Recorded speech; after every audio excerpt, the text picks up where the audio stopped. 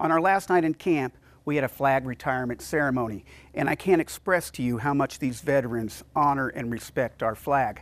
I also can't tell you how much they love and miss their brothers who didn't make it home. It was a very emotional night for all of us. And as you'll see, when it was my turn to put my piece of flag in the fire, I tried to thank them. I tried to say anything, but I just couldn't get the words out. But, gentlemen, thank you for your service, and thank you for allowing me to witness such a patriotic event. The flag of the United States of America is an honor symbol of our nation's unity. Its hopes, its achievements, its glories, its high resolve. When the flag is in such condition through wear, damage, that is no longer fitting emblem, a fitting emblem for display, it shall be destroyed in a dignified manner, befitting such a symbol. The, the traditional way is to cut the flag into pieces and burn it in a modest but blazing fire.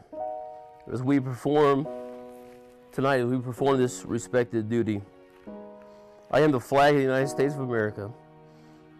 My name is Old Glory. I fly atop the world's tallest buildings. I stand in watch of America's halls of justice. I fly majestically over institutions of learning. When I am flown with my fellow banners, my head is a little higher. My colors a little truer. I bow, I bow down to nobody. I'm recognized all over the world. I am saluted. I am loved. I am revert, revered. I'm respected. I am feared. I have fought in every battle of every war for more than 200 years. I led my troops. I was dirty, battle worn, and tired. My soldier cheered me. I was proud. I have been burned, torn, trampled on the streets of the countries that I have helped set free. It does not hurt me, for I am invincible. I have slipped the bonds of the earth, stood watch over the uncharted frontiers of space from my vantage point on the moon. I have borne silent witness to all of America's finest hours, but my finest hours are yet to come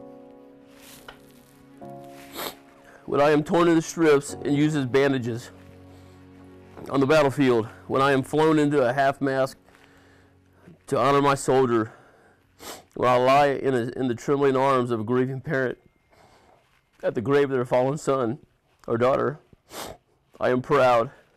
I am the flag of the United States of America for the brothers I've lost, for the brothers that I still have here. I love y'all. America stands true. Enjoy retirement.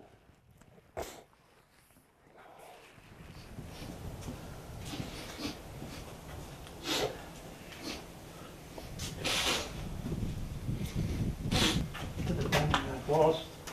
And tell your friend Joe lost. Thank you.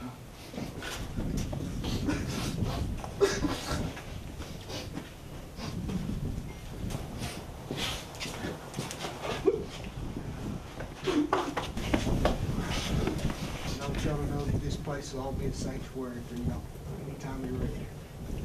Thank you. Group, that's it. Who?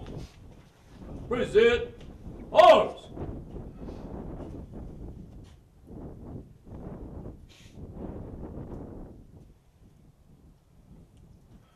Order arms. Dismissed.